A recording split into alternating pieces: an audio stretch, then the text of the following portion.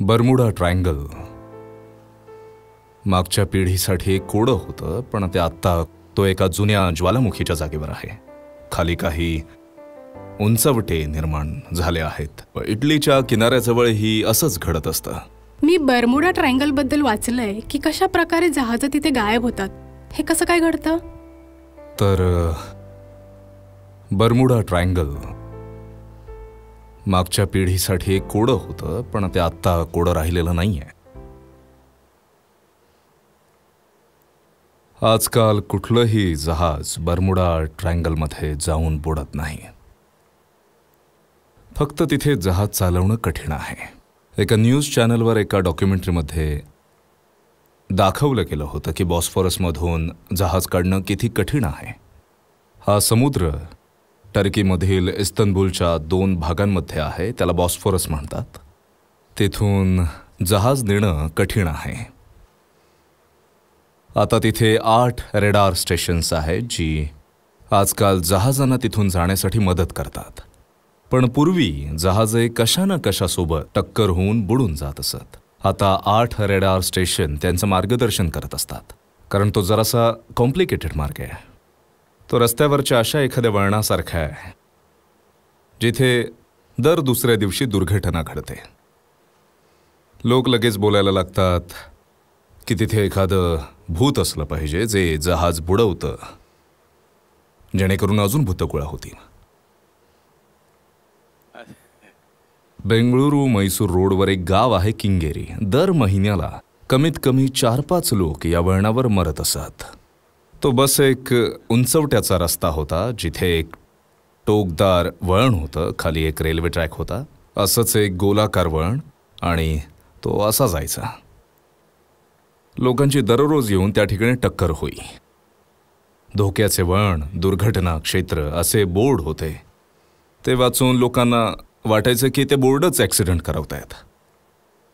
मला माहीत नाही की किती शेकडो लोक या वळणावरती मारले गेले आहेत.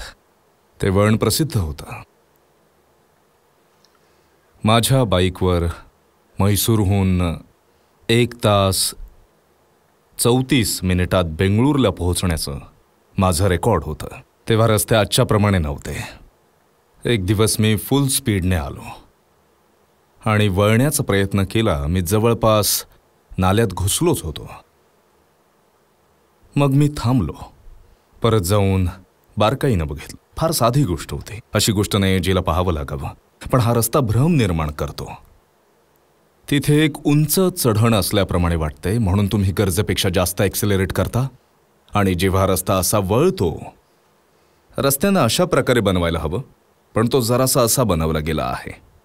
तो जबरदस्त आभास निर्माण करतो. अर्थात या अशा गोष्टी आहेत ज्या तुम्हाला साधारणपणे माहीत आहेत. हे काही रॉकेट सायन्स नाही आहे पण हा रस्ता काहीसा असा आहे मागची झाडं रेल्वे ट्रॅक जसा तो खाली जातो आणि जसा याचा किनारा आहे हे सर्व मिळून एक आभास असा निर्माण होतो तिथे.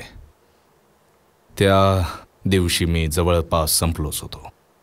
मग मी त्या रस्त्यावर अर्धा तास खालीवर फिरत राहिलो. हे जाणून घेण्यासाठी. की मी नक्की कंट्रोलच्या बाहेर कसं काय गेलो? आणि मग मला आढळून आलं की या सर्व गोष्टी कारणीभूत आहेत. आज तिथे हायवे आहे आणि त्या वळणाला काढून सरळ करण्यात आला आहे. आता किंगेरीमध्ये कुणी मरत नाहीत भूत निघून गेली आहेत. तेव्हा अशाच प्रकारे बरमुडा ट्रायंगल जहाजांसाठी बस एक कठीण जागा आहे.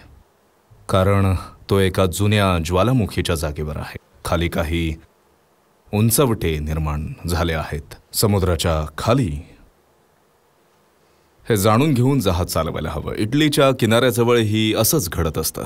कारण काही ठिकाणांवरून जहाजांना नेणं सोपं नसतं. त्यासाठी थोडंसं कौशल्य असावं लागतं. आजकाल या घटना खूपच कमी झाल्या आहेत कुणीही बर्मुडा ट्रायंगलमध्ये जाऊन गायब होत नाही. कारण प्रत्येक जहाजावर कित्येक गॅजेट्स असतात जे सर्व काही दाखवतात. Sonar readers radars radio altimeter आणि कित्येक गोष्टी असतात ज्या तुम्हाला लाखो गोष्टी दाखवतात. तर आता जहाजं धडकत नाहीत.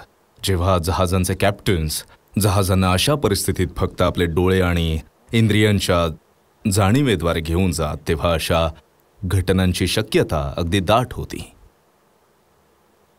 तर लोकांना नेहमी कुतूहल हवं असतं. हे काही वाईट गोष्ट नाही आहे कारण असे लोक महत्वाकांक्षी